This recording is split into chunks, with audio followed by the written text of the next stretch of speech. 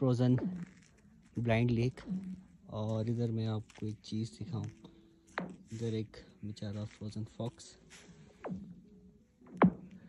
इधर मिड में ही आके फ्रोज हो चुका है। देख सकते हैं।